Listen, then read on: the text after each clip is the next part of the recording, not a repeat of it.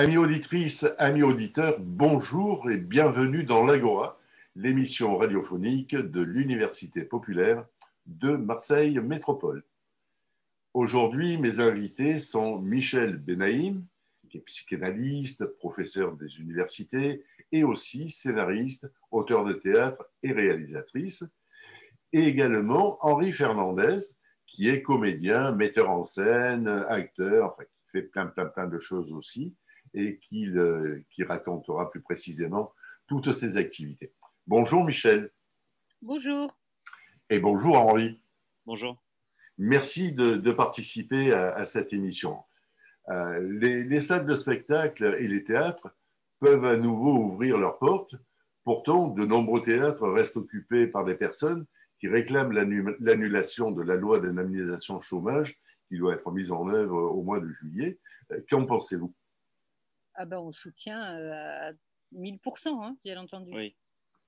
Oui. On est à fond euh, avec, avec nos collègues et, avec ce, type d'action, de, mouvement. Enfin, bon, cette loi est scandaleuse, bien entendu. Elle met les gens à terre. Hein. déjà que la culture, c'est compliqué depuis deux ans, mais alors là, c'est juste scandaleux. Donc on est à 2000% avec nos, nos collègues. D'autant que cette, cette loi impacte également toutes les personnes qui ont des, des contrats précaires, les intérimaires, les personnes qui ont, qui ont des contrats de courte durée, enfin toutes ces personnes-là qui sont mises en difficulté. Ce ne sont pas que les, que les acteurs de la culture euh, qui, sont, qui sont impactés. Tout à fait. Et alors, c'est vrai qu'avec les acteurs de la culture, c'est particulièrement criant quand même. Là, euh, au vu de ce qu'a souffert la culture, mais vous avez raison, il y a, d'autres euh, secteurs hein, euh, qui sont concernés. Bah, je trouve que c'est indécent, c'est indécent cette loi. Bah, ce qui me paraît encore plus indécent, c'est de, de, mettre, enfin, de, vouloir mettre en place cette loi au moment où, il y a vraiment beaucoup de personnes qui sont dans, dans, dans la plus grande des précarités. On a bien vu qu'il a fallu organiser des distributions de, de, paniers alimentaires, mais aussi de, produits sanitaires, parce que euh, ceux qui étaient pauvres sont encore plus pauvres, ceux qui étaient démunis sont encore plus démunis. Tout à fait, c'est ce qu'aura révélé cette, cette épidémie, hein, de toute façon. Hein. Elle aura euh, exacerbé euh, les injustices et les scandales qui existaient déjà, et qui là deviennent visibles de façon aveuglante, quoi. Et, et non seulement la loi est indécente, mais effectivement, vous avez raison, le moment où elle sort est particulièrement indécent. C'est ça. Avec euh, Bernard Arnault qui devient première fortune mondiale. C'est juste anodin. On est heureux pour lui. Hmm, moi, je suis pas heureux. Vraiment pas, je trouve. Euh, je, trouve que c'est vraiment indécent. L'augmentation des dividendes qui ont été distribués aux actionnaires pendant toute cette période, c'est absolument euh, scandaleux. Incroyable, ouais. 44 d'augmentation des dividendes versés. Euh, je trouve ça absolument abominable. Mais on va revenir à des choses plus, euh, on va venir à des choses plus, plus agréables. Du, du 11 au 31 juillet, votre compagnie, Si Rêve là, jouera au festival Off d'Avignon. Qu'est-ce que ça veut dire, euh, Sirène hmm. Je crois que c'est trois prénoms, c'est ça? C'est le début de trois prénoms. Ok, bon. voilà, pour, être tout à fait honnête. Non, non, mais ça va. quand, je ne sais pas, j'essaie de chercher. Je n'ai pas trouvé, donc je vous demande. Le début des trois prénoms de mes fils. Ok. Voilà. Alors, la compagnie Sirevla, euh, c'est la suite de Sirevla Productions que vous avez créé en 2019. Euh, et la compagnie Sirevla regroupe à, l'heure actuelle une troupe de cinq comédiens. Et qui, qui sont ces comédiens? Mais peut-être que qu'Henri, qui est avec nous, va pouvoir nous en parler maintenant. Oui, bien sûr. Bah, alors, ces comédiens ont été réunis par euh, Valentin Faro, dont, dont, Valentin Faro qui fait partie de l'équipe, euh, et qui a été mandaté, entre guillemets, par Michel Benaïm pour trouver une équipe capable d'endosser euh, ce projet. Et euh, donc Valentin Faro nous a conviés, euh, moi, Henri Fernandez, Camille Giraudin, Alexis Potier et Solène Casté pour, pour faire partie de cette aventure. Voilà. vous, connaissez un peu le, parcours des uns et des autres? Alors, Camille Giraudin, elle est, elle est psy, apprentie, apprenti psy. Elle connaît très bien Michel Benaïm aussi, puisque forcément, elle est à l'université de d'Aix. Elle a fait un peu de théâtre dans, des, dans des circonstances diverses. Notamment, elle a animé, ça c'est intéressant, elle a, elle a mis en place un atelier théâtre et improvisation en psychiatrie à l'hôpital Édouard Toulouse à Marseille, avec mhm. des patients. Voilà. et elle a joué aussi dans des pièces mises en scène d'ailleurs par euh, Henri Fernandez, notamment. Elle a joué dans les pièces aussi. Je te regarde, au, théâtre de Carréron à Marseille. Valentin Faro, donc euh, Valentin Faro, euh, c'est un, un, jeune comédien de la scène marseillaise qui, euh, qui travaille pour la compagnie Evoé, qui donne des cours, qui, euh, qui, euh, qui, joue dans de plus en plus de pièces, qui devient vraiment un, comédien prolifique. Qui a été formé au cours Florent Oui, à Paris. Et qui a, pris des cours de psycho aussi, je crois. Et qui a, qui a une formation universitaire en théâtre et en cinéma. En cinéma, oui, c'est un grand. Mm. Et qui fait partie aussi de l'Apsus numérique, qui, qui, a, animé une rubrique cinéma pour l'Apsus numérique. D'accord. Euh, Solène Casté, alors Solène Casté qui est, euh, qui est actrice euh, très expérimentée, qui a, qui a, fait énormément de, de, pièces de théâtre, qui a monté, qui a joué dans Au les beaux jours notamment, dans Les Justes, dans... qui est metteur en scène aussi d'ailleurs. Voilà, qui actuellement a mis en scène récemment un spectacle sur les nouvelles de Maupassant. voilà et euh, Alexis Potier, qui, euh, qui, est, qui est un acteur euh, qui, qui, qui, est un peu dans notre, dans notre petit groupe, qui, voilà, qui a joué dans Les Justes également avec, avec moi, Solène et Valentin. qui a joué la métamorphose de Kafka, voilà. qui a joué dans... le rôle de Grégor. Oui, en plus. ouais, un rôle pas facile. Hein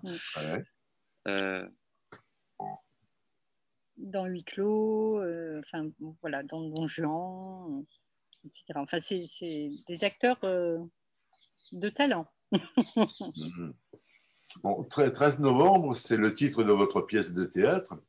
Euh, pourquoi vous avez eu envie de, créer ce, spectacle à propos du ou des 13 novembre? Alors, c'est une longue histoire en fait, en 2015, donc bien entendu, tout le monde le sait, euh, il y a eu dans un premier temps les attentats euh, de janvier à Charlie Hebdo et à l'Hypercacher, qui m'ont personnellement euh, beaucoup, beaucoup, beaucoup impacté. et au moment où je sortais un peu de cet abattement, on va dire, sont arrivés les, les, attentats du 13 novembre 2015, Bataclan, les bars, etc. Donc là, j'ai replongé euh, dans quelque chose d'un peu dépressif, d'un peu, euh, euh, ouais, un abattement, une sidération, enfin quelque chose qui était compliqué à élaborer pour moi, qui me renvoyait à d'autres expériences de ma vie professionnelle, euh, notamment euh, les années SIDA euh, où j'ai beaucoup travaillé, où j'étais à Aide Provence, à Act Paris, etc. Et c'était toutes ces années avant les trithérapies, hein, avant les, traitements efficaces. Et donc où j'ai vu comme ça partir des jeunes à l'appel, à l'appel, avec bon, des choses pareilles, un peu sidérantes, un peu injustes, c'est trop tôt pour mourir à 25 ans, quoi, hein, euh, voilà, etc., etc. Et donc, le festival d'Avignon qui a suivi les attentats 2015, euh, donc ce festival, j'y suis tous les ans, je me gave de, je fais compulsivement de théâtre euh, pendant ces moments-là. Et, en fait, un soir, je suis sortie de je ne sais plus quel spectacle, un peu, un peu dur, un peu, voilà. Et, je me suis retrouvée toute seule dans un bar. Et là, je me suis dit, bon, là maintenant, il faut sortir de ce truc, il faut, faut, faut en faire quelque chose, il faut que tu élabores quelque chose autour de ce, de ce 2015. C'est pas possible. J'étais figée un peu, vous voyez, un truc un peu. Et en fait, euh, je me suis mise à écrire sur ma table de bar. À 1h du matin, le serveur est venu me dire qu'il fermait. Je lui ai dit, ah non, mais je ne peux pas bouger en fait. Donc, euh, je ne sais pas s'il a compris ou senti, mais il m'a apporté une, un broc d'eau chaude pour compléter ma tisane. Et je suis restée toute la nuit seule sur cette terrasse. Euh, et j'ai écrit ça. Voilà. Et après, j'allais beaucoup mieux. Et c'est euh, après, une fois l'avoir un petit peu montré à, des, à, des, amis proches, etc., elles m'ont dit, mais c'est du théâtre. Et moi, je suis, pas, je suis psychanalyste au départ. Hein. Donc, je ne pensais pas être capable d'écrire une pièce de théâtre. Enfin, ça ne m'avait pas traversé l'esprit. J'écris, mais j'ai écrit des bouquins de psycho. Quoi. Voilà. Et donc, en fait, je l'ai transformé effectivement en, quelque chose qui pourrait peut-être être euh, déclamé, être joué, être incarné, euh, etc. Et après, il y a eu cette fameuse rencontre donc avec Valentin qui a aimé le texte et qui m'a dit est-ce que je peux le montrer à des amis euh, comédiens? J'ai dit bah oui, bien sûr. Et c'est là qu'a eu lieu la rencontre avec cette troupe. D'accord. Donc vous, vous êtes en train de dire que l'expression, c'est un moyen de soulagement, que ce soit l'expression écrite ou orale, euh, mais qui ou, au travers d'une expression très théâtrale, mais peut-être musicale, j'en sais rien, euh, ou cinématographique. Et, donc le, le, fait de s'exprimer permet de soulager les douleurs.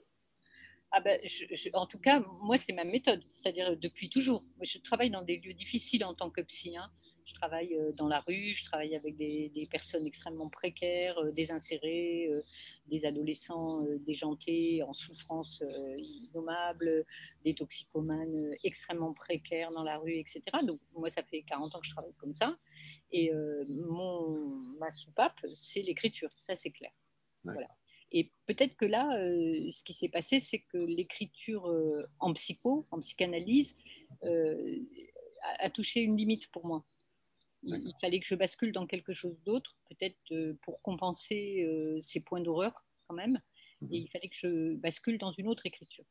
C'est comme ça que je me suis lancée dans le théâtre et dans le, cinéma, puisque j'ai fait aussi des courts-métrages. comment vous arrivez à sortir euh, de, de, votre costume, de votre, de votre personnage de, psychanalyste à vous incarner dans votre rôle de metteuse en scène bah, en, fait, les, Mais peut-être qu'Henri nous dira aussi comment, comment il vous perçoit, s'il vous perçoit comme une psy pendant que vous faites la mise en scène, ou au contraire comme une chef d'orchestre. C'est une très bonne question. Bah, en fait, le, mon travail nourrit mes, écrits et nourrit mes postures aussi. Par contre, effectivement, Henri va s'exprimer parce que au tout début, de cette aventure, il, euh, il me disait non mais il faut que tu sois directive. Et, et, moi je disais mais j'ai pas l'habitude de ça. Moi je suis plutôt dans la bienveillance, dans la contenance de mes patients, etc. Et eux me disaient non non mais là faut pas que tu sois là-dedans, faut que tu nous diriges, faut que tu nous bouges. Vas-y mais tu peux peut-être raconter ça. En fait cette mise en scène on l'a c'est vrai qu'on s'attend à ce qu'un metteur en scène ait un langage de metteur en scène. Il y a des, il y a des mots, il y a des, il y a, il y a quand on est, quand on est un, un groupe autour d'un spectacle, on, on élabore un, un, langage commun, une langue commune qui fait qu'on se comprend. Et c'est vrai que euh, Michel n'a jamais fait de mise en scène avant. Mmh. Et donc, euh, diriger des comédiens, euh, euh c'était quelque chose de, de, de nouveau. C'est un métier. Hein. Oui. Mmh. Et en fait, ce qui s'est passé, c'est qu'elle nous a énormément raconter de, choses sur la signification de ce qu'elle écrivait, parce que c'est vrai qu'au début, c'est pas comme des dialogues de théâtre ou euh, avec une action euh, très précise et euh, avec une intrigue ou c'est des monologues intérieurs, c'est très, c'est très poétique, c'est même un peu obscur. Et en fait, elle nous, a, elle nous a donné les clés pour, pour comprendre et pour, pour, pour, nous aider à nous saisir de ça. Et euh, pour ce qui est de la mise en scène concrète, on, on ça, a été, ça a été quand même assez collectif, c'est-à-dire qu'on a ensemble, on, on, on s'est vraiment emparé de tout ce que le théâtre permet pour, pour porter ce texte. On s'est euh, on s'est permis de, de, de, de, faire parler la lumière, de faire parler euh, les sons, de faire parler l'espace pour, euh, pour rendre compte de, ces temporalités. On a parlé des, des, trois temporalités qu'il y a dans le, dans, dans, dans, le texte, de, de, de, de pour, pour, pour, pour, créer, pour, pour, donner du contraste aussi à ces, à ces différentes paroles, à ces différentes subjectivités qu'il y a dans le spectacle. C'est-à-dire que c'est vraiment très intime et très intérieur. Alors c'est vraiment très particulier à, à, mettre en scène et, à, et à donner. Et en même temps, c'est vraiment le genre de spectacle dans lequel il peut y avoir une certaine magie, une certaine communion avec les spectateurs. Euh, il y a quelque chose de l'ordre de, ouais, de, la parole partagée, de, il y a quelque chose de lumineux quand même. Même si au début je dis que l'écriture était obscure, on a vraiment euh, travaillé sur l'idée de, de, donner de la lumière. En fait, voilà. Et du coup, en fait, cette mise en scène, c'est un vrai aller-retour en fait avec les mm. comédiens. C'est-à-dire que, comme dit Henri, il le dit bien, j'ai peut-être plus donné le, comment dire, oui, l'essence peut-être du texte. Et eux, après, ils sont arrivés avec leur, euh, leur talent à eux et leur, euh, leur connaissance à eux, parce qu'eux, ils travaillent dans le théâtre depuis euh, toujours, quoi, ce qui n'est pas mon cas. Et du coup, au début, ils étaient un peu frileux parce qu'ils n'osaient pas. Ils sont d'habitude, ils sont dirigés par des metteurs en scène qui dirigent, quoi, absolument. Et, là, en fait, euh, ils se permettaient euh, doucement au début de faire des propositions.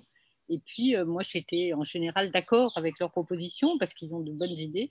Et du coup, ils se sont permis de plus en plus de faire des propositions. Il y a même des répétitions où j'étais pas et où, quand je venais à celle d'après, ils me disaient on a expérimenté un truc, est-ce qu'on peut te montrer?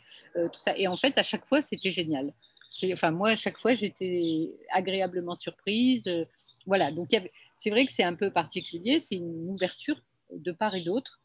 Euh, et, cet aller-retour, je pense que ça aussi, on le sent dans le, dans le spectacle. Il y a, quelque chose d'un lien là, euh, qui, est assez, qui, est rendu, qui est rendu sur scène. Ce que, vous, indiquez, c'est que les acteurs euh, se sont appropriés le texte et se sont comportés en véritables acteurs, à savoir acteurs sujets, je euh, pour vous qui êtes psy, ça vous parle, euh, euh, plutôt qu'un acteur subordonné et, pratiquant ce que le chef d'orchestre, mais en l'occurrence le, metteur en scène, la metteuse en scène, indique comme proposition. et, moi, je trouve, intéressant cette, cet aller-retour entre, et, notamment cette appropriation du texte mm. par, des, par des acteurs qui, euh, et ce n'est pas, pas très fréquent, qui se comportent comme des vrais acteurs. Voilà. Mais c'est ça que j'appelle la rencontre, en fait. C'est parce que là, vous me disiez comment vous faites psy pour euh, changer de casquette, etc. Et en fait, je n'ai pas tant changé de casquette que ça. C'est-à-dire que ce que j'avais envie qu'ils proposent, c'était effectivement ce qu'ils étaient, c'est-à-dire ce qu'ils avaient eux à l'intérieur, pas ce que moi j'allais leur faire faire, en fait. Mhm. Même si effectivement mon texte, je, il était, euh, ça vous a même pas traversé l'esprit, on l'a pas touché, c'est mon texte. Mhm. Pour autant, euh, c'est leur subjectivité. C'est ça, c'est l'interprétation. C'est ça, Peut-être que là, effectivement, le, le, le fait d'être psy a, a, influé ça. C'est mhm. euh, voilà, le côté intéressant peut-être de, de cette posture. Et, tout, et, toute la troupe, c'est, enfin, vous avez, vous avez indiqué que tous les acteurs ont joué le jeu, mais euh, comment, euh, comment les, autres, les autres membres de la troupe euh, ont, vécu cette, bah, cette nouvelle forme de mise en scène coopérative? En fait, ça a été, il y, a eu énormément de hauts et de bas et de, parce que c'est un projet qui est quand même qui a plus d'un an. Hein. Eh et en fait, euh, effectivement, il y a eu des moments d'énormes doutes hein, euh, dans, la façon de, monter ça. Après, la, grande force de, cette équipe, c'est que c'est une équipe qui se connaît. Il y a une alchimie secrète qui, est, là entre les, entre les acteurs et euh, qui était absolument nécessaire pour ce genre de projet c'est impossible de monter une pièce comme ça avec des acteurs qui ne se connaissent ah pas, je pense, euh, et qu'on euh, fait passer sur un casting comme ça, ça aurait été euh, pas possible. Nous, on se connaît, il y a quelque chose entre nous, il y a quelque chose de, magnétique, on a joué ensemble déjà souvent. on on se connaît très bien. Donc, on a pu voilà, tisser quelque chose. Mais oui, il y a eu beaucoup de doutes quand même, hein, évidemment. Après, ils ont la passion du théâtre, hein, ces comédiens. Hein. bien sûr. Mais lorsque vous parlez d'alchimie, est-ce que cette alchimie est nourrie à la fois de reconnaissance et de confiance? Pour la reconnaissance de la qualité de l'autre et la confiance dans les possibilités de l'autre, dans ses possibilités d'expression euh, euh, et, d'appropriation aussi, parce que euh, dans tous les groupes, Michel le sait mieux que moi, dans tous les groupes, il y a un leader. Et, ce que j'entends depuis le début de notre entretien, c'est qu'il n'y a pas de leader. C'est vrai. C'est vrai. C'est vrai, que c'est très difficile. Ça va être très difficile de dire ce qu'il y a un leader. Ah absolument. vous avez tout à fait bien perçu. Il n'y a, a, pas de leader. C'est ça qui est, étonnant parce que c'est quand même euh, bon, cinq personnes. Euh, bon. Et effectivement, il y a cette, cette confiance. En tout cas, moi, d'emblée, quand je les ai vus jouer, s'approprier le texte, etc., ma confiance, elle était acquise. C'est-à-dire qu'ils étaient euh, comme il fallait, à mon sens, pour ce texte. Voilà. Et après, entre eux, je crois qu'il y a une grande confiance parce qu'effectivement, ils se connaissent, comme dit Henri, et ils ont déjà joué ensemble et ils s'aiment en fait, ils s'apprécient, voilà. Et ça, ça se sent. Hein mm. Vous le rendez sur la scène. Après, voilà, euh, on s'est d'autant plus soudés qu'on a traversé euh, euh, des, des, épreuves. des, épreuves. parce que voilà, on a eu des dates annulées, évidemment. Bon, ça, comme beaucoup de troupes, je pense. Mais comme je, je vous disais tout à l'heure, c'est vrai que ce confinement, je pense, a dû enfin, ces confinements ont dû mettre fin à beaucoup de projets. Et euh, les projets qui ont survécu sont, sont trouvés, je pense, renforcés. Et euh, je pense que c'est le cas pour 13 mmh. novembre. C'est que ce projet a été renforcé. Il y a aussi une, une épreuve bon, inaugurale. inaugurale qui a été. il y avait un comédien qui était censé jouer dans cette pièce et qui est, qui est décédé, en fait. C'était un ami euh, qu'on est euh, très proche. Ça a commencé euh, par ça, en fait. Ça a commencé par ça. C'est-à-dire qu'on s'est rencontrés une première fois pour faire tous connaissance, donc via Valentin. Ouais. Et il y avait donc ce comédien aussi, bien sûr, et tout le monde était emballé par le projet, par l'idée d'Avignon 2020. Hein. C'était tout ça, c'était fin 2019. On n'avait pas fait de répétition. On n'avait rien répété, on se, rencontrait, quoi. Hein. On hmm. se connaissait autour de l'apéro, enfin voilà. Et en fait, il y a un truc qui est parti comme ça, d'un emballement, d'un enthousiasme, etc. C'était voilà. Et quelques jours après, ce comédien est décédé. Et personnellement, d'ailleurs, euh, moi, je me suis dit bon, on arrête tout, quoi. C'est juste, c'est terminé. Et en fait, les comédiens, bah, c'est des artistes et the show must go on. Quoi. Et ils m'ont dit non seulement on n'arrête pas, mais on va le faire plus que jamais, en fait. Voilà. Et, d'ailleurs, là, c'est posé la question de.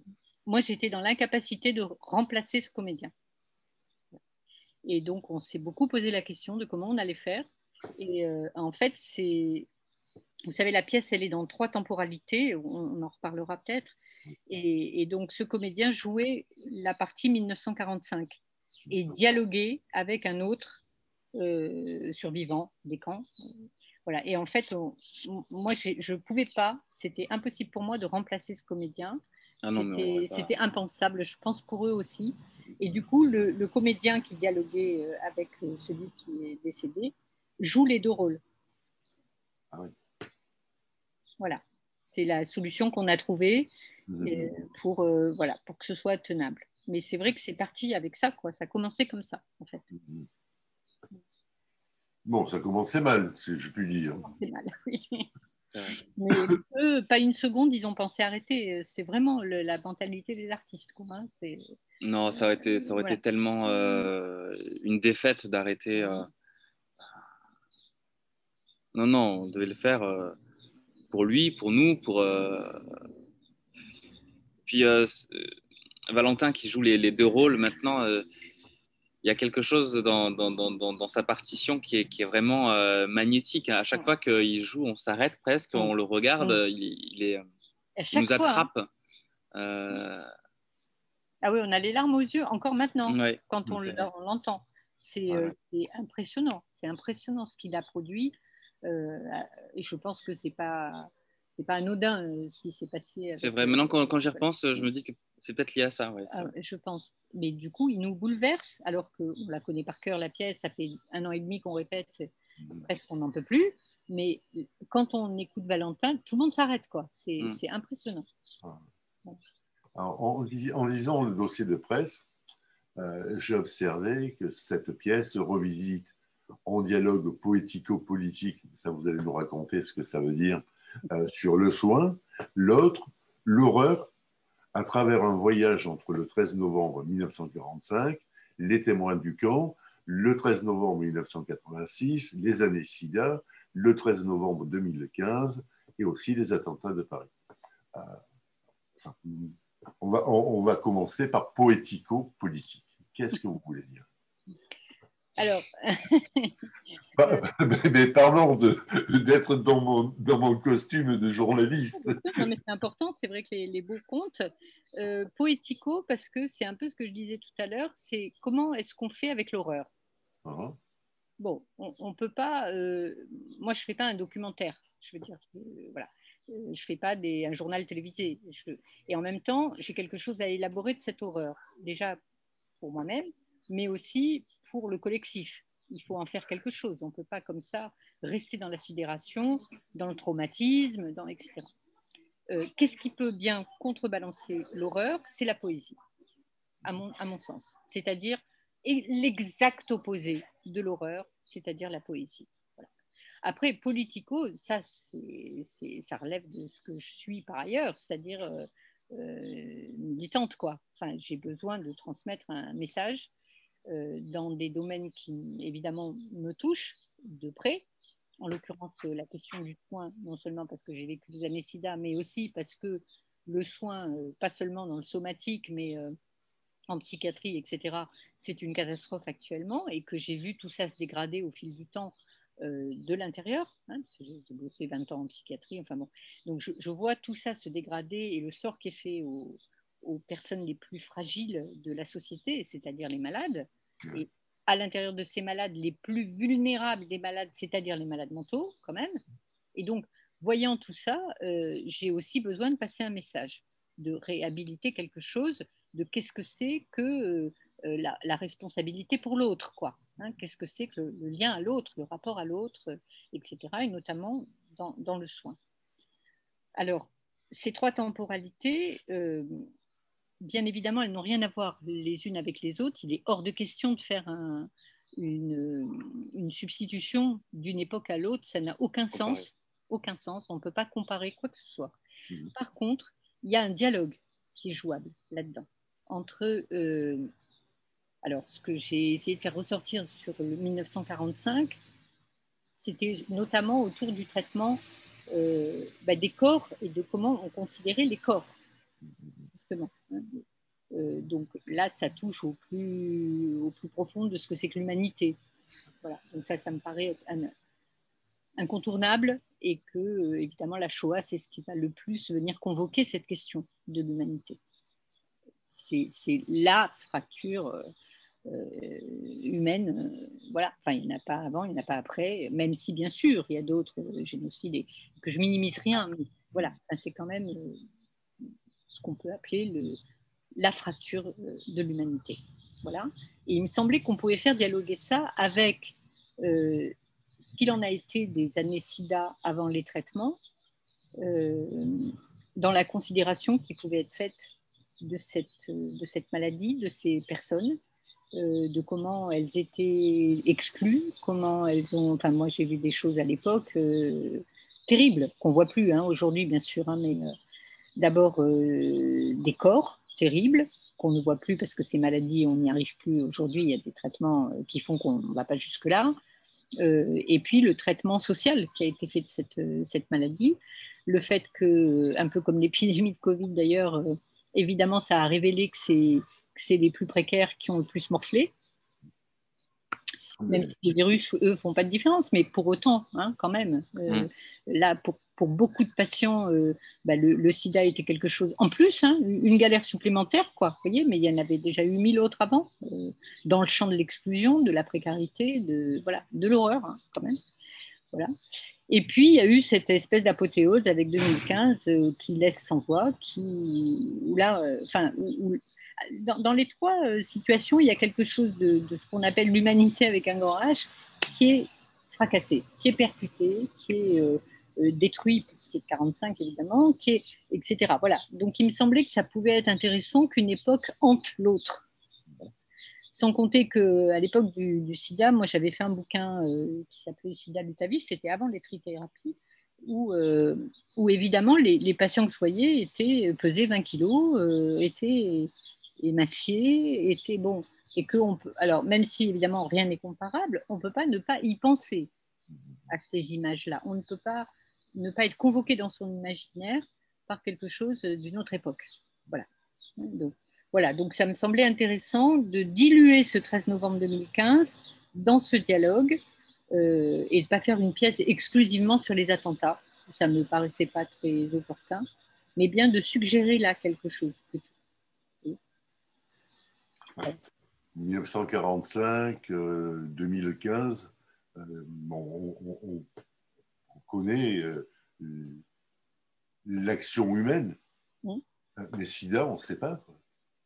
Alors, euh, SIDA, il y, avait, le pire et le meilleur, comme en 45. il, y avait, euh, il y avait le pire et le meilleur, c'est-à-dire qu'il y avait toute l'horreur de la façon dont on pouvait traiter les gens ou les situations. J'ai vu des enfants exclus des cantines parce que leur mère était malade, enfin des choses comme ça quand même. Hein, euh, voilà. donc il y avait tout ce pire Hein, tous ces, gens qu'on ne touchait plus, qu'on ne, bon, euh, avec qui on ne mangeait plus, avec qui, enfin, tous ces trucs-là, même quand on assume hein, les modes de transmission et tout. Parce qu'au début, à la limite, pourquoi pas, mais euh, très vite, c'est une maladie où on a très vite su comment ça se transmettait. Et pour autant, ça n'a pas eu d'effet tout de suite, ça. C'est-à-dire qu'on a continué à isoler les gens, à les stigmatiser. Euh, dans les hôpitaux, il y avait des pastilles rouges sur les dossiers des patients VIH. Sur, bon, qui était d'ailleurs contre-productif, hein, puisque les patients où il n'y avait pas de pastilles rouges, les, équipes soignantes faisaient comme si tout allait bien et se chopaient d'autres maladies, du coup. Hein, vous voyez ah bon, voilà. Des choses comme ça complètement aberrantes. Et en face de ça, il y avait le meilleur, voilà, euh, l'équivalent des résistants, on va dire, avec la création des associations. Vous voyez, des associations telles que Aide, en l'occurrence, euh, où tout de suite le, fondateur de l'association Aide, qui est Daniel Defer, avait euh, avait capté qu'il allait y avoir un problème du côté du stigmate, du côté bon, hein, c'était les homosexuels, les toxicomanes, machin, il y avait tous les ingrédients pour massacrer une partie de la population. Voilà.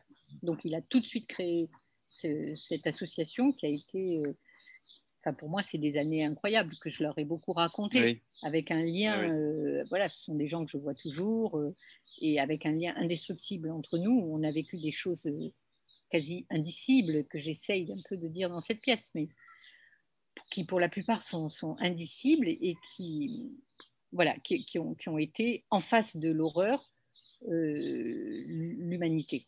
Voilà, et, et, pour vous, Henri, les, pour vous les acteurs, euh, comment vous avez reçu ce texte qui est, qui est quand même un texte noir euh, mm. Comment vous l'avez, je veux dire, vous l'avez pris dans la figure mais que, enfin, comment vous avez réussi à, le recevoir, euh, mais surtout à le digérer et à l'interpréter? Ben, En fait, euh, euh, au début, on, on, ne comprenait pas. Je pense que c'est le fait d'écouter toutes ces histoires que tu nous as racontées, tous ces témoignages, tout ce, tout ce que ça, ça signifiait, c'est comme ça qu'on a, qu'on a pu euh, s'en emparer. Et c'est aussi le, le, le, fait de, de, de, prononcer ces paroles sur le plateau aussi qui a créé quelque chose. Euh, être traversé par cette parole-là, c'est quelque chose qui, qui dépasse aussi la simple compréhension logique des choses. Le fait d'alterner aussi les, les, les, époques les témoignages, il y a des liens qui se tissent. À chaque répétition, il y a des, il y a des, il y a des, il y a des espèces de, de, de, de liens euh, invisibles qui, euh, qui se tissent entre, entre, entre ces différents témoignages. Et euh, parfois, ça se passe de commentaires. Hein, mais c'est vrai que c'est. Pour, pour, la petite anecdote, je, joue le, le, rôle d'un patient qui, euh, qui, est, malade et qui est, qui est, sur un lit pendant toute la pièce et qui ne prononce aucune parole, quasiment. Euh, au point que à un moment, pour des questions logiques, on se demandait si ça valait pas le coup de, de, mettre personne dans le lit ou une marionnette, un mannequin. Et on a essayé et on s'est rendu compte que ça ne fonctionnait plus du tout. C'est le fait d'avoir euh, une présence de quelqu'un sur le point de, s'éteindre au milieu, de la, au milieu de la, du plateau qui crée cette tension et qui crée la nécessité pour les acteurs d'être là, d'être présents. Euh, c'est là qu'ils viennent puiser la source de leurs paroles euh, et, et, le lien. Parce qu'en fait, c'est là qu'on s'est rendu compte qu'en réalité, c'était vraiment une pièce sur le lien, sur le, le lien comme enjeu principal de, du soin. Il y a, il y a une. C'est Raymond euh, de, la mission Sans Abri que, j'ai entendu dire ça euh, à, un repas une fois. Il a dit Un regard peut tuer, mais un regard peut aussi redonner la vie. Et en fait, il y a ça aussi dans la pièce. Euh, le regard peut être une main tendue. Et en fait, sur, le, sur un plateau de théâtre, un regard peut aussi être une main tendue. Et c'est là qu'il y, a, euh, y, a, y a eu quelque chose à exploiter théâtralement pour nous.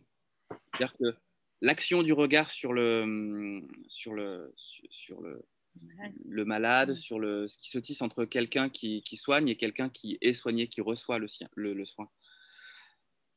J'avais envie de lire un petit extrait, si c'est possible, de la pièce. Why not? Si c'est court, c'est bien. C'est assez court, ça fait quelques lignes, mais ça, illustre un petit peu ce que, ce que, ce que je voulais dire là-dessus. C'est une maladie paradoxale. On n'a pas d'espoir. On vit le moment présent comme eux.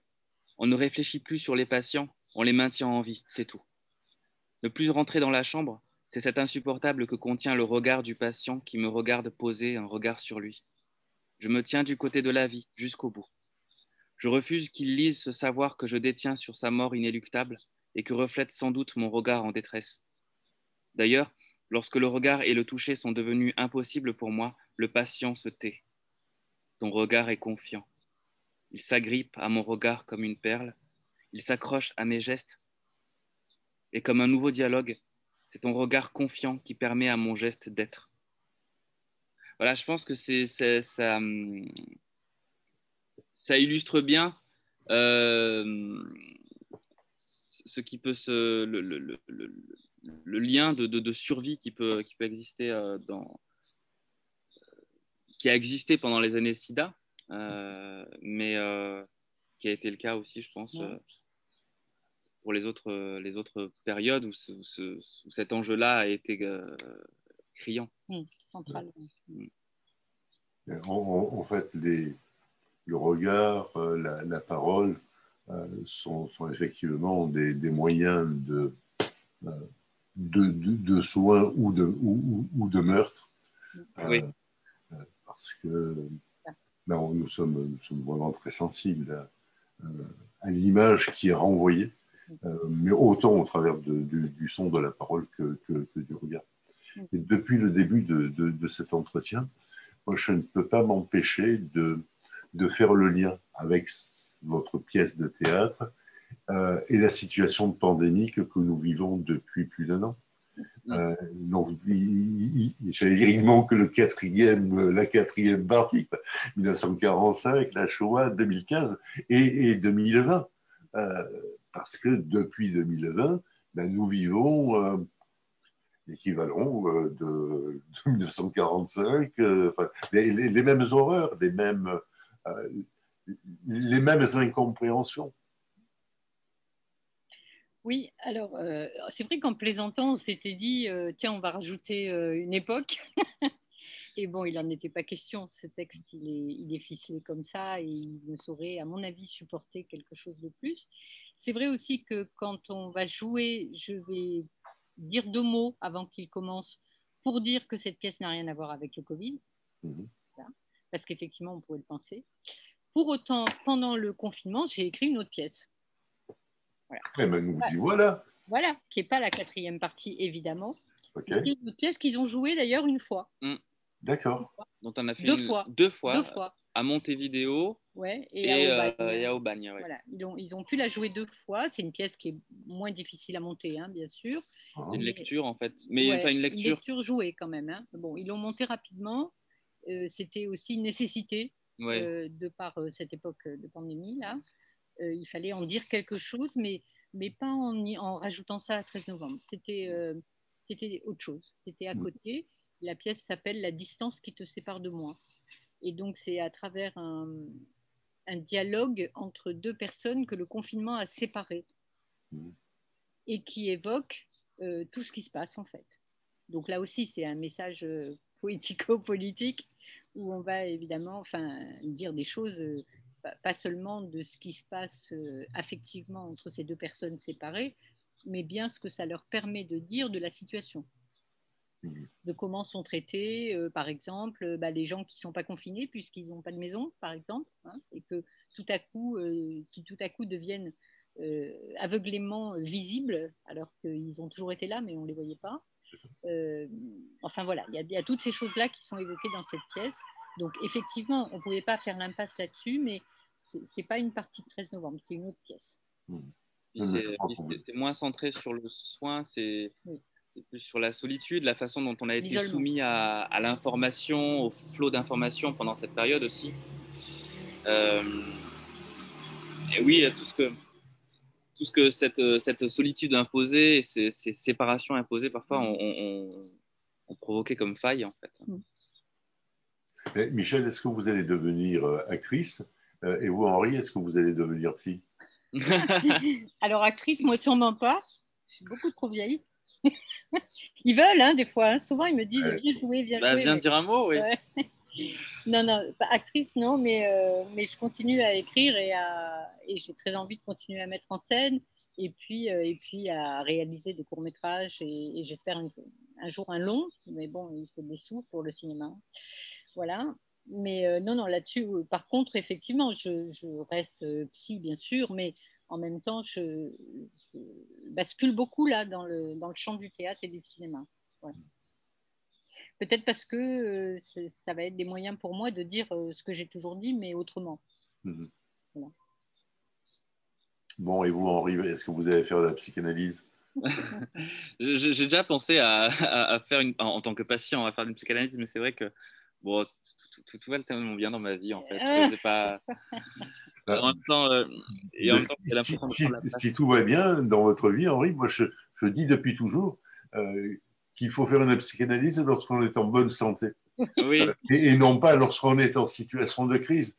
Euh, parce que la psychanalyse, c'est quand même un moment où on ouvre les placards et on sort Oui, oui, tout ce qu'il y a dedans.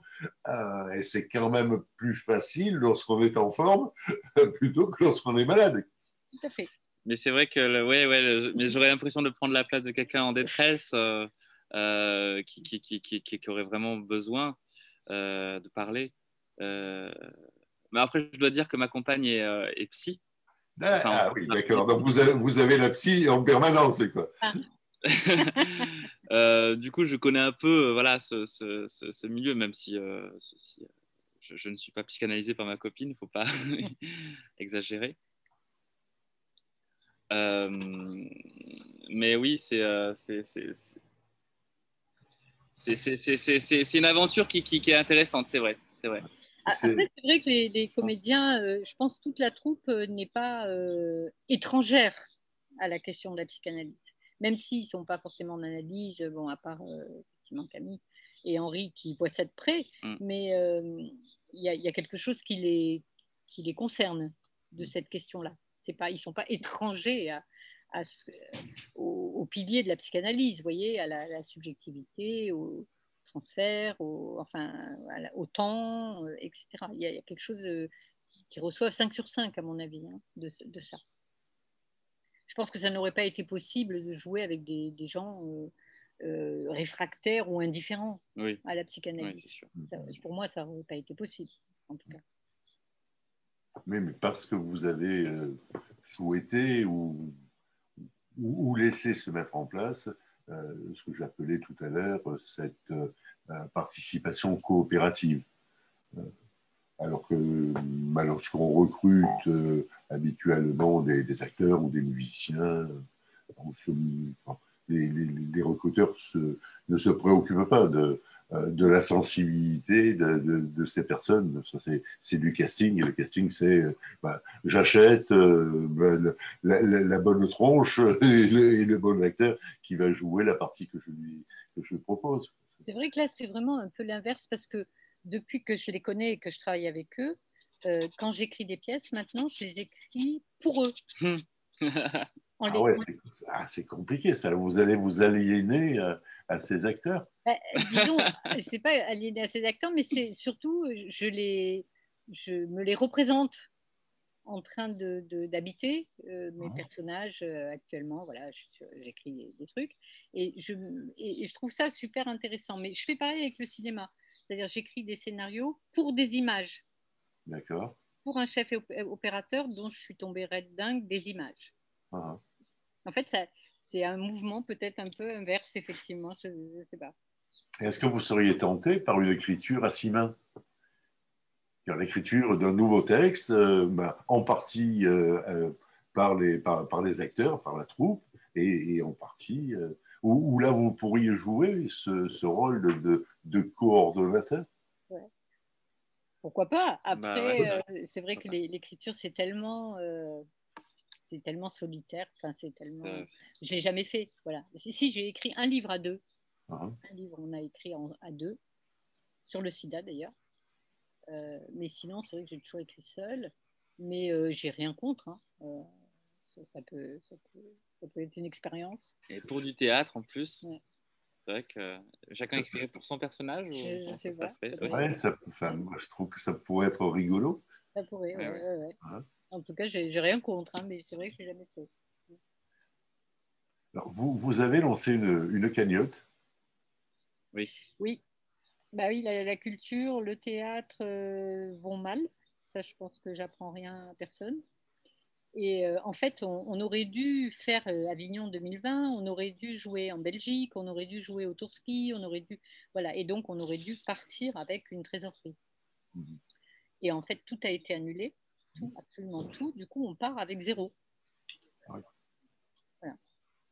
Et voilà, on a lancé une cagnotte en se disant que peut-être les gens allaient avoir envie de soutenir euh, une compagnie, euh, le théâtre, la culture, parce que c'est essentiel pour le coup. Oui. Et quel est le budget dont vous avez besoin? 6 000 La cagnotte, on a mis 6 euh, 000, oui.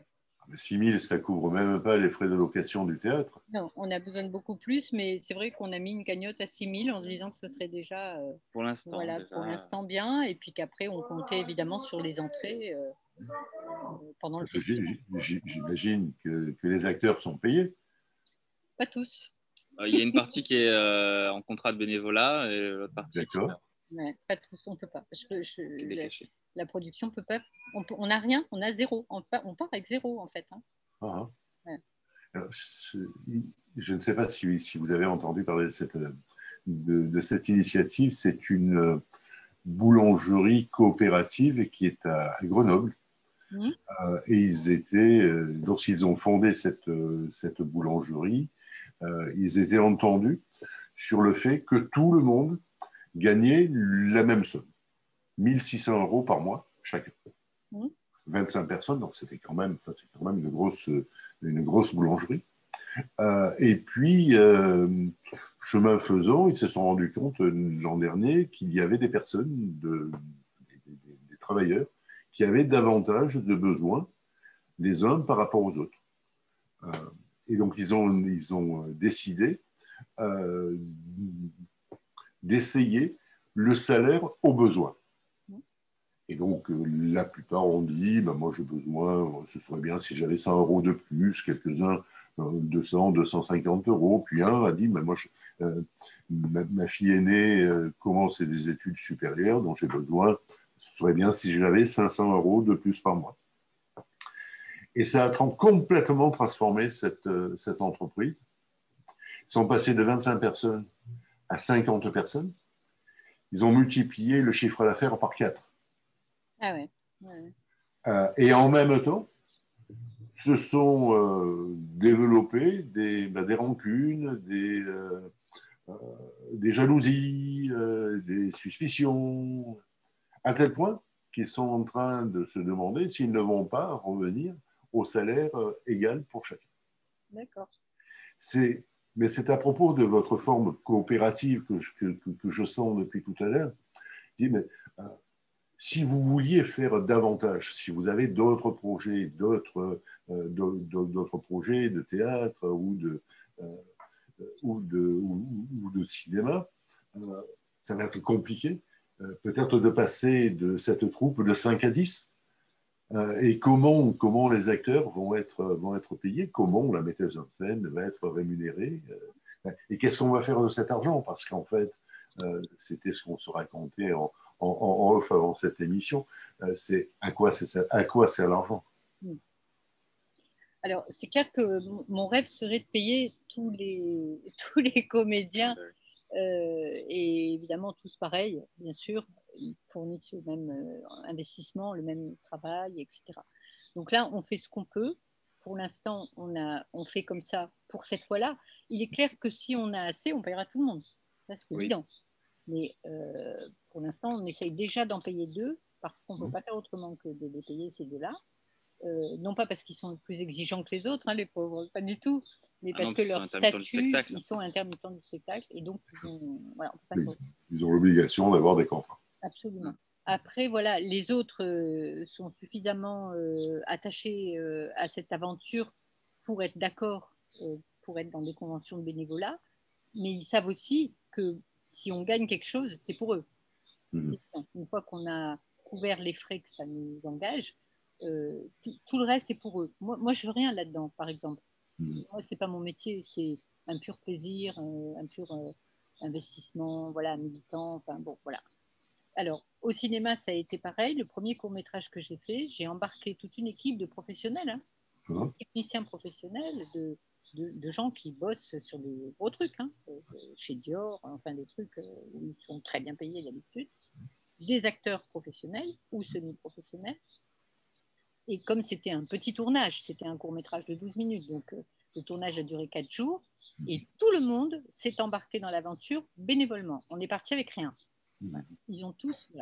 Par contre, pour mon prochain court métrage, je suis en négociation avec euh, les structures telles que la mairie ou le conseil régional pour avoir de l'argent, parce que moi, je ne suis pas là pour exploiter les gens non plus. Hein. Donc, une fois pour l'aventure, c'est cool, c'est pour le plaisir de, l'art, mais euh, à la deuxième euh, expérience, les gens doivent être payés et payés avec un salaire normal. Donc là, effectivement, je demande de l'argent pour, pour le court métrage euh, prochain. Parce que le cinéma, ça coûte très très cher et qu'il nous faut euh, pas mal d'argent. Et là, il est hors de question que je fasse travailler ni des acteurs, ni des techniciens sans les payer au salaire normal, hein, pas mmh. au rabais. Hein. On arrive bientôt à la fin de cet entretien. Bah, c'est peut-être temps de nous parler de vos futurs projets, de, ou de, ce que vous avez en idée, qui va devenir projet puis réalité. Euh, mais, vous, Michel, mais vous aussi, Henri, euh, qui, euh, qui j'imagine, porte aussi plein, de, plein, d'aventures nouvelles. Oui, oui. bah en fait, moi, je travaille dans un, dans un, dans un théâtre à Marseille, qui s'appelle le Carré Rond. Et c'est vrai que pendant le confinement, ça a été l'occasion de, démarrer plein de, plein de nouveaux projets. Euh, il y a eu 13 novembre, il y a eu La distance qui te sépare de moi. Euh, je monte une pièce avec euh, Jérôme Pastini, qui est, qui, est, régisseur au théâtre du Tourski. la pièce s'appelle Clac. C'est une pièce sur, sur sa vie, la vie de Jérôme. Ensuite, euh, j'ai des projets plus, euh, plus personnels. Euh, j'ai adapté un roman de Thomas Bernard qui s'appelle Des arbres à abattre. Et j'en ai tiré une, un, spectacle musical en duo avec un pianiste que j'ai appelé Une irritation. et que j'ai déjà commencé à, à jouer trois fois là. Et qui est fait pour euh, être joué un peu partout, en appartement, euh, euh, dans n'importe quel lieu. C'est un spectacle autonome. Voilà. D'accord. One-man show. on est deux. Mais oui, c'est voilà, c'est oui, c'est ça. Et, et j'ai monté une autre pièce aussi pendant le confinement. Une, j'ai réécrit une farce de Nikolai Gogol euh, qui s'appelle Les Joueurs. Je l'ai réécrite pour euh, les comédiens du Carré Rond et, et je l'ai montée. voilà, je l'ai jouée là le, week-end dernier pour la réouverture des théâtres. On a commencé avec cette pièce. Voilà. Donc c'était c'était une petite farce que j'ai réécrite. Ça m'a beaucoup amusé et beaucoup occupé pendant le confinement et voilà c'est Bon, c'est beaucoup plus euh, enjoué, c'est chanter, c'est danser, il y a de la magie. Euh, bon, j'ai voulu euh, faire quelque chose de très théâtral et de très, de très sucré pour contrebalancer, pour, pour, nous donner un petit peu de... pour contrebalancer avec ce, manque de théâtre qu'on a eu, je voulais faire quelque chose voilà, d'extrêmement théâtral, d'excessif. De, voilà bon, je vous invite à venir le voir si vous voulez au Théâtre du Carré-Rond. On le reprogrammera l'an prochain. Super, avec plaisir. Et vous, Michel? Euh, moi, j'aimerais bien qu'on joue et qu'on transporte 13 novembre un peu partout, déjà, évidemment. Mhm. Qu'on joue aussi la distance qui te sépare de moi euh, un peu partout. Qu'on monte euh, bah, la troisième pièce du recueil qui s'appelle Quand ces lettres n'arrivent pas, avec des scènes un peu absurdes et où je les vois très très bien euh, dans ces rôles. Et sinon, bah, mon, je suis sur un nouveau projet théâtral euh, d'écriture d'une pièce euh, qui aura à voir avec les, les adolescents réfugiés, les, les, les, mineurs non accompagnés, comme on dit, voilà, à Marseille. Et donc, j'essaye d'écrire quelque chose autour de ça. Et sinon, au cinéma, bah, le prochain court métrage, j'attends d'avoir de l'argent. Et ça s'appellera Le Partisan. Et pareil, c'est aussi sur des adolescents. Euh, comme je travaille beaucoup avec des adolescents, ils m'inspirent beaucoup. Et, sur euh, bah, différentes formes de détresse adolescente et, des formes de solidarité là où on ne les attend pas. Euh, voilà, c'est ce que retracera ce court métrage futur. Bon, je rappelle, pardon, je rappelle que votre pièce sera jouée au Festival d'Avignon je ne retrouve plus les dates, mais vous du 11 au 31 juillet. À 19h30 tous les soirs. Avec un peu de relâche, deux jours, mais on n'en parle pas. Merci Merci participé à cette émission. J'espère que vous avez pris autant de plaisir que moi. Absolument. merci euh, beaucoup pour euh, cette invitation. C'est très agréable.